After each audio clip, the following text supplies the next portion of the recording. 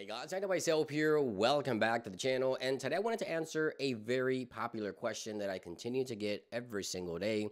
And that is when can we expect Apple to release iOS 14.5, the official final release to everyone for iPads and iPhones and iPod Touch that support iOS 14. So in this video, we're going to go over expected release dates for betas. We have more information now. We want to share with you guys additional details and when the software will be hitting your device with a ton of new features. There's just a lot going on with iOS 14.5. Currently, I've been testing on multiple devices. The battery has improved across the board. The only device that's still having issues is iPhone SE first generation. Aside from that, there's also a ton of bugs that look to be improved and ironed out with this software as well, and a ton of amazing new features, including mask detection to unlock with Apple Watch. So let's go ahead and dive right into this one. So when can Apple release iOS 14.5 to everyone? Worldwide? Well, the first thing we have to look at is release patterns for betas, and that gives us an indication on when Apple might release the next beta, therefore the next software update to the public. So Apple typically follows two routes. Number one, they usually go with a weekly release cycle for betas, and then eventually after four or five betas, release the release candidate boom, new software release. But they also follow a different pattern when it comes to bigger software updates, which I believe is the case this time around. They usually go with two weeks in between betas until they finally get to a spot where they leave two weeks or a week in between and then release the release candidate and then the official software. So let me explain myself. Right now, iOS 14.5 is currently sitting in beta 3 as well as iPadOS, of course. So it's currently sitting in beta 3.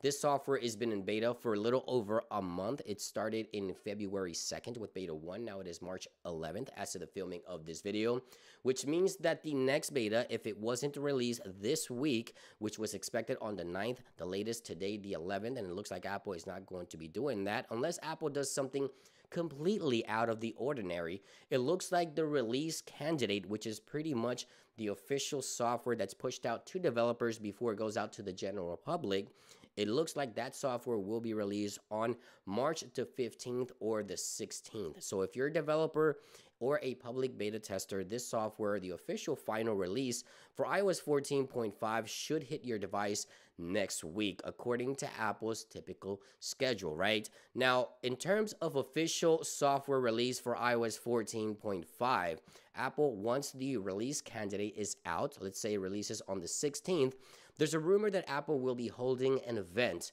on March 23rd. Now, keep in mind, iOS 14.5 is packed with a ton of new features, bug fixes, and improvements, including mask detection to unlock with Apple Watch, just a ton of great features overall. If you, if you want to watch my entire coverage, links will be down below. Of course, I'll have a follow-up video for you guys once the release candidate is out with everything to expect.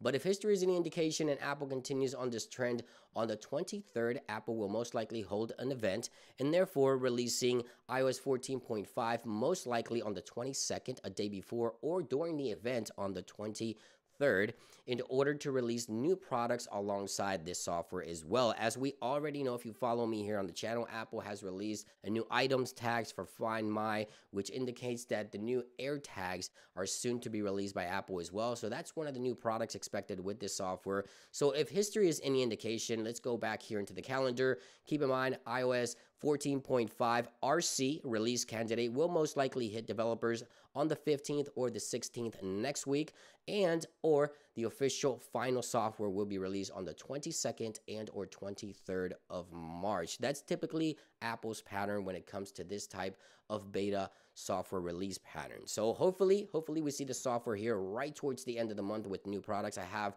really, really good hopes and really good indications that this is going to be the case. Release candidate next week, 15th or 16th of March official software release iOS 14.5 with a ton of awesome features and improvements, including Apple Watch mask detection unlock on March the 23rd. So mark your calendars, guys. Thank you for watching, and I'll see you guys on the next one. Peace.